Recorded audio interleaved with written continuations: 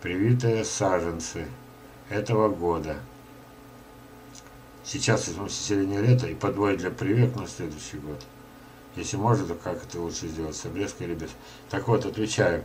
Значит так, сейчас не делать ничего. А есть весенняя обрезка, принцип один, как можно раньше. И с сильнейшей обрезкой, ну, хотя бы половину кроны. А так смотреть по состоянию корней. Вот, если купили на рынке саженец, первым делом выбросить его. Если жалко выбросить, отрезайте 90% кроны.